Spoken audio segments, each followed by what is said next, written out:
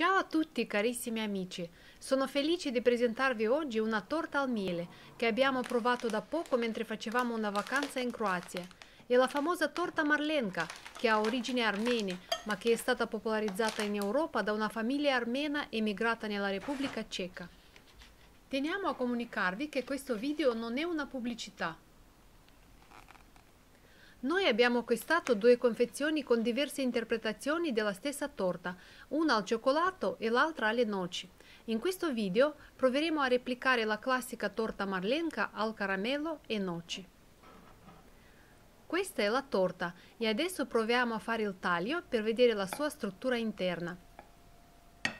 Possiamo notare che la torta è molto soffice e morbida, si sente molto forte l'aroma di caramello, miele e noci. Iniziamo la preparazione della torta. Prepariamo la crema pasticcera. Come prima cosa metto in ammollo i fogli di gelatina in acqua fredda. L'elenco completo degli ingredienti e le dosi le troverete indicati nella descrizione sotto il video. In un pentolino metto a scaldare il latte e la panna fresca.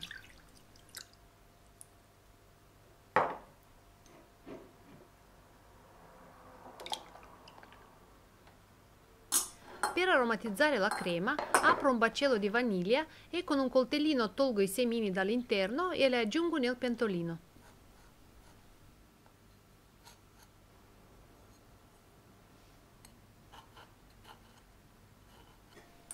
Nei tuorli d'uovo metto un pizzico di sale,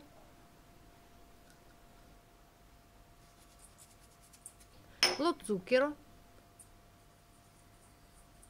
l'amido di mais e inizio a mescolare per amalgamare bene tutti gli ingredienti.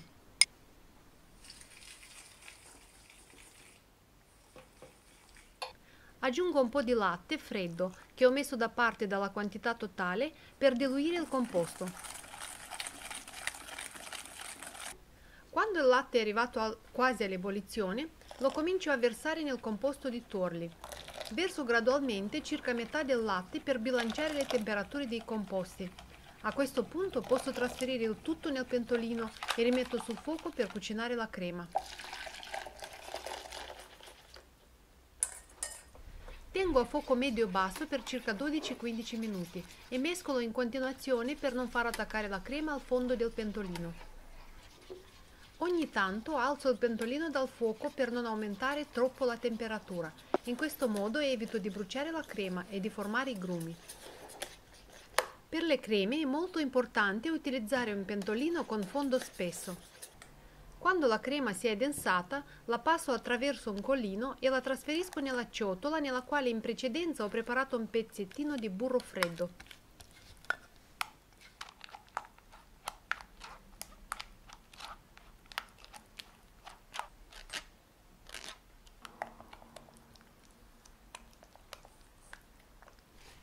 Aggiungo la gelatina ben strizzata e mescolo bene.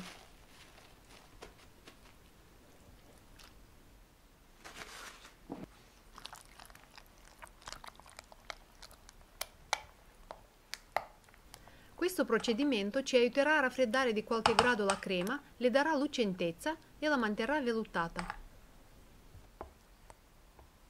Copro la crema con la pellicola a contatto e la lascio arrivare a temperatura ambiente. Metto a tostare le noci e le lascio raffreddare.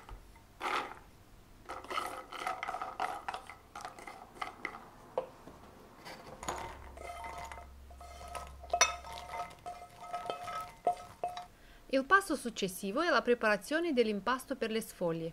In un pentolino metto a sciogliere il burro ed il miele.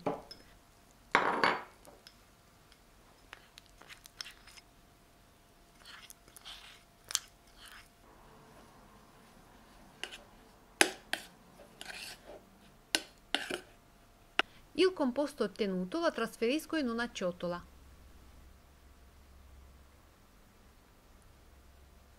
Nella farina setacciata aggiungo il lievito per i dolci ed il bicarbonato.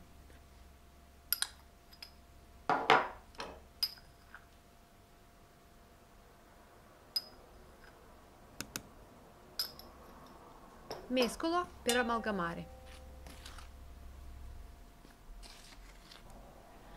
Tolgo i semini di un baccello di vaniglia e li aggiungo nella panna acida.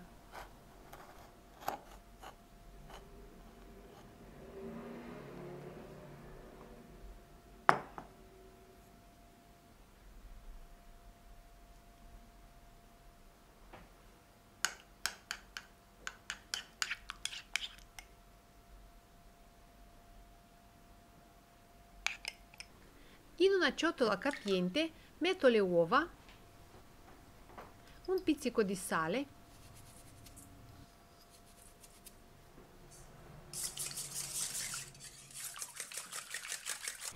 lo zucchero,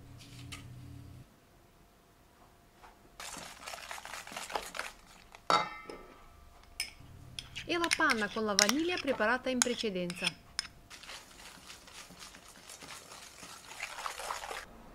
Mescolando, verso il burro ed il miele, l'aceto di mele e comincio ad incorporare gradualmente la farina. Questo tipo di impasto non si deve mescolare troppo, dobbiamo ottenere un prodotto finale friabile.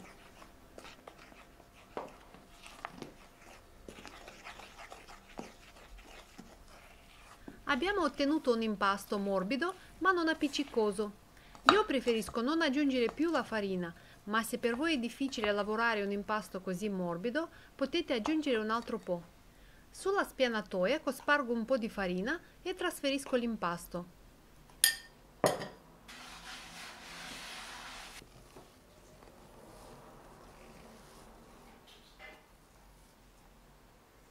Aiutandomi con una paletta, creo un cilindro e divido l'impasto in 5 pezzi uguali.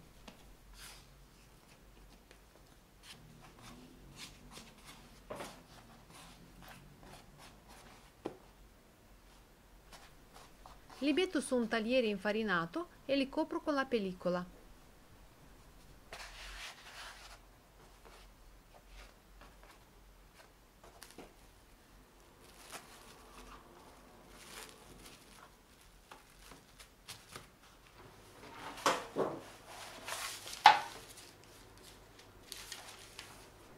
Su un pezzo di carta forno spolverizzo la farina, appoggio una pallina di impasto alla volta, la schiaccio un po' con le mani e inizio a stenderla con il mattarello.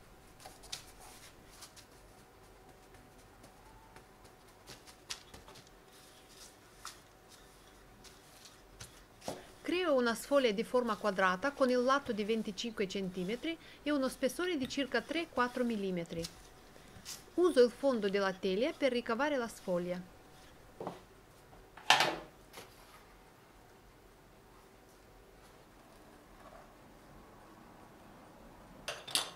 I pezzetti di impasto rimanenti verranno utilizzati per creare la sesta sfoglia.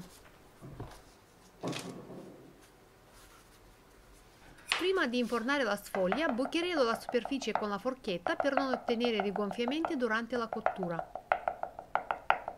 Metto nel forno preriscaldato a 180 gradi per circa 6-7 minuti. Regolatevi in base al vostro forno.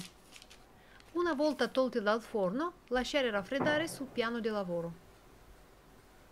Ripetete la procedura con tutti i pezzetti di impasto per ottenere 6 sfoglie. Dopo il taglio della sesta sfoglia, mettete in forno anche le strisce di impasto rimanenti che verranno utilizzate per decorare. E queste sono le nostre sfoglie pronte. Sminuzzo le noci tostate in precedenza.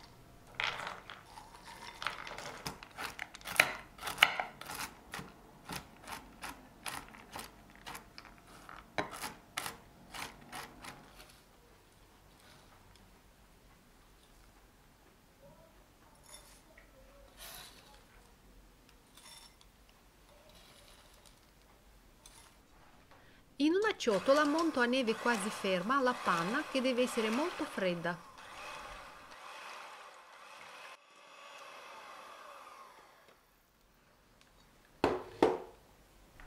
In un'altra ciotola sbatto il burro morbido a temperatura ambiente per 3-4 minuti finché diventerà bianco e soffice.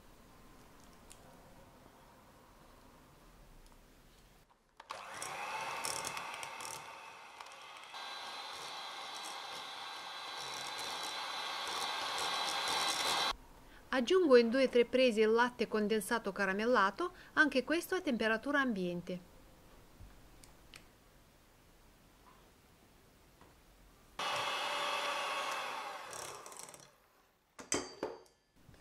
Ammorbidisco con il frullatore la crema pasticcera e la aggiungo gradualmente nel burro e latte condensato.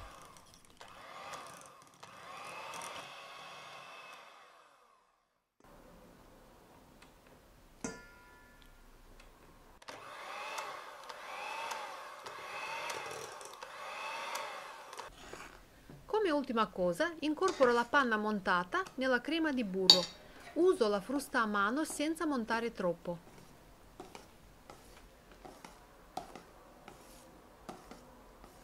e la crema è pronta. Per la bagna ho utilizzato l'acqua bollita e raffreddata, zuccherata con lo zucchero di canna integrale. Tutti i componenti sono pronti e possiamo assemblare la torta.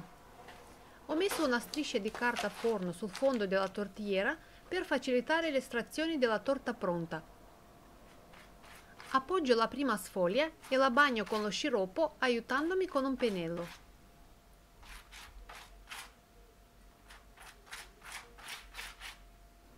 Per non far fuoriuscire la crema attraverso le fessure, ho utilizzato delle briciole ricavate dai pezzetti di biscotto rimasti dall'ultima sfoglia.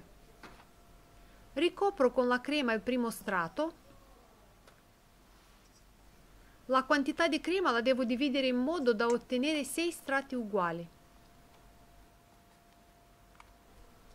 Cospargo di sopra delle noci.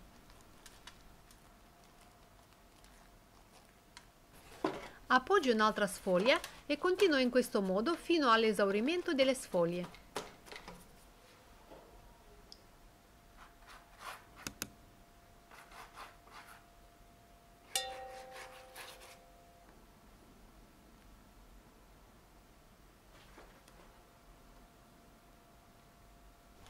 Dopo il secondo strato metto le strisce di acetato sui bordi per facilitare l'estrazione della torta.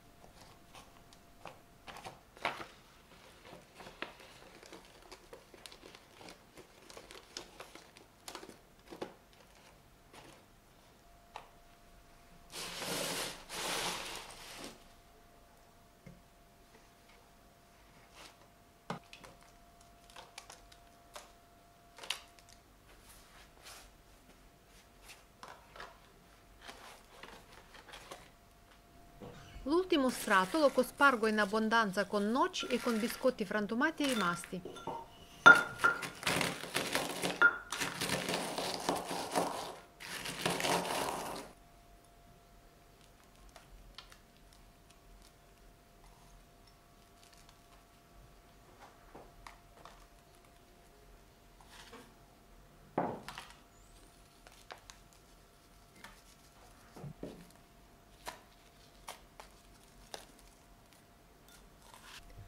Copro la torta con la pellicola e la lascio raffreddare e rassodare in frigorifero per tutta la notte. Dopo circa 10 ore la torta si può estrarre dal frigo e possiamo iniziare il decoro finale.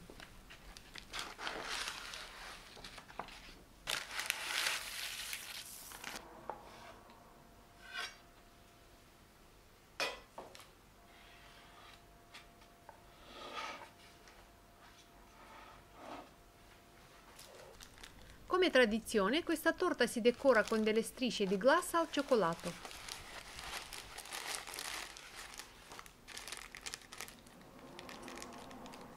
La torta marlenca è pronta. Credo che la nostra prova ha avuto successo perché la torta è venuta molto buona, anche più buona dell'originale. Provate a replicarla anche voi per un'occasione speciale, avrà molto molto successo e noi aspettiamo i vostri commenti e i vostri preziosi mi piace. Ciao e alla prossima video ricetta!